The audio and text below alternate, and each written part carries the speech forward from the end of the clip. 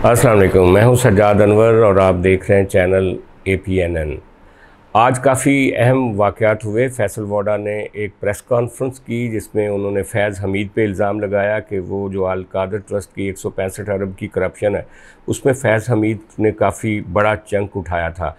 फैसल वाडा वही हैं जिन्होंने अरशद शरीफ के मर्डर पर भी कहा था कि ये जो मर्डर है ये आई की मौजूदा क़्यादत की वजह से नहीं हुआ, बल्कि शायद पुराने फ़ौजी जो हैं, वो इसमें शामिल थे, जिनमें उन, उनका इशारा सबक D G I S I Faiz Hameed की तरफ़ था।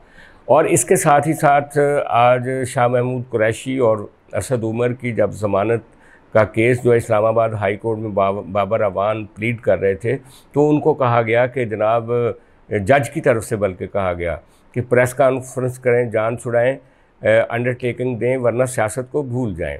तो पता नहीं उन्हें तो उन्होंने तंजन कहा या जैसे भी कहा, लेकिन फैक्चुअल पोजीशन यही है कि इस वक्त जितने भी लीडर मौजूद हैं जेलों में पीटीआई के, उन सब के बारे में कहा जा रहा है कि उनका सॉफ्टवेयर अपडेट हो रहा है जो जो बंदा डेक्लेशन दे रहा है कि मैं प्रेस कॉन्फ्रेंस करूँगा, वो उसको छोड़ दिया जा रहा है और जो जो नहीं दे रहा उसको दोबारा नज़रबंद कर दिया जाता है।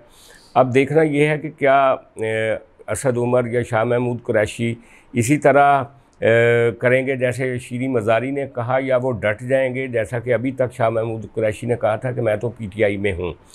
अब मसला ये है कि असद उमर या शाह महमूद कुरैशी को तो जहांगीर तरीन भी लेने के लिए तैयार नहीं है, जो एक नई पार्टी बनाने में मसरूफ़ हैं, क्योंकि पीटीआई के अंदर रह के जहांगीर तरीन को शाह महमूद कुरैशी और असद उमर से काफ़ी शिकायत थी और उनकी आपस में लड़ाई वगैरह भी उस वक्त थी और जहांगीर तरीन का ये भी कहना है कि शायद इमरान ख़ान से दूरी की जो वजह है, उसमें शाह महमूद कुरैशी और जहांगीर और असद उमर का भी एक कंट्रीब्यूशन था।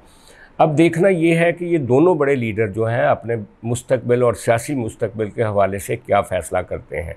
क्या वो प्रेस कॉन्फ्रेंस करते हैं और पीटीआई जो है, उससे अलग होते हैं या फिर वो उस सज़ा को भुगतने के लिए तैयार हैं, जिसका फ़ैसला रियासत ने पहले से किया हुआ है?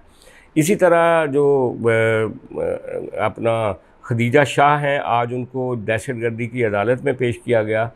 उनके साथ काफ़ी नारवा सलूक इस तरह से हुआ कि उनको चार घंटे प्रिजनर्स वैन में अदालत के बाहर गाड़ी के अंदर, जहाँ जिसके अंदर एसी भी नहीं था और जिस, जो, जिसके अंदर सफोकेशन होती है, उसने कहा कि मैं दमे की मरीज़ा हूँ और मेरी तबीयत ख़राब है तो फिर जाके कहीं गाड़ी जो है, वो किसी साय में खड़ी की गई।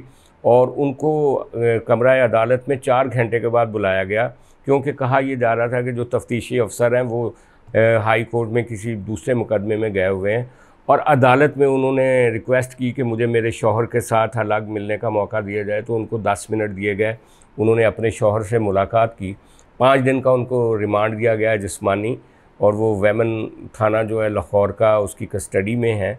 अब कहा यही जा रहा है कि चूँकि उनका एक फ़ौजी बैकग्राउंड है, सबक चीफ़ ऑफ़ आर्मी स्टाफ की वो नवासी हैं और सलमान शाह जो कि मुख्तलिफ़ हुकूमतों में फ़ाइनेंशियल एडवाइज़र रहे हैं और सूबाई वज़ी ख़जाना भी रहे हैं, उनके बारे में खदीजा शाह के वो वालद हैं। तो खदीजा के बारे में यही कहा जा रहा है कि वो जब भी जेल से निकलेंगी तो वो पीटीआई से और इमरान खान से इजहार ला ताल्लुकी करती हुई नज़र आएँगी। अब देखना ये है कि आने वाले दिनों में वाक़ात कैसे अनफोल्ड होते हैं? शाह महमूद कुरैशी, असद उमर, खदीजा शाह, वो अपने बारे में क्या फ़ैसला करते हैं? और जो फैज़ हमीद हैं, उनको कैसे मुकदमात में इन्वॉल्व किया जाता है? क्या वो भी नैब उनको भी बुलाएगी? और उनके ख़िलाफ़ भी कोई नई इंक्वायरियाँ खुलेंगी? फ़ौज के अंदर तो माल, पता चला है कि उनके ख़िलाफ़ कुछ इंक्वायरियाँ हो रही हैं। इसके साथ ही, इजाज़त दीजिए, कल फिर आपसे मुलाकात होगी। शुक्रिया।